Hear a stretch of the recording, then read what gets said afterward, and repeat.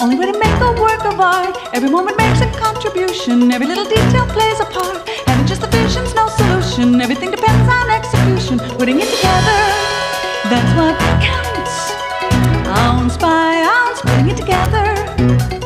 Small amounts, nothing to make a work of art. First of all, you need a good foundation, otherwise it's risky from the start. Takes a little cocktail conversation, but without the proper preparation, having just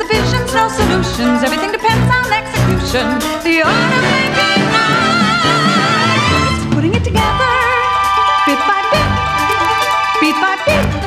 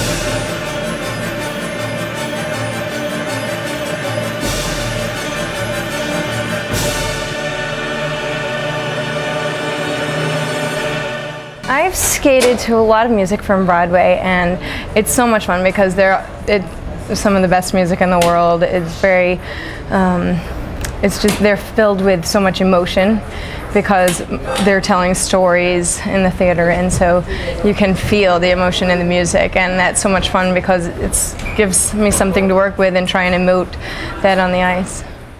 and all that.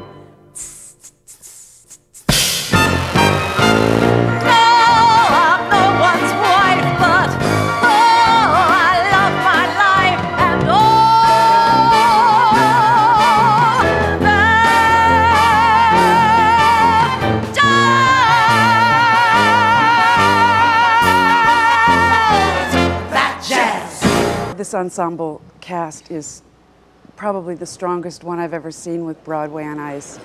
And they're all so young and so athletic, but they also have the finesse and the grace and the polish. Uh, I've really never seen an ensemble like this.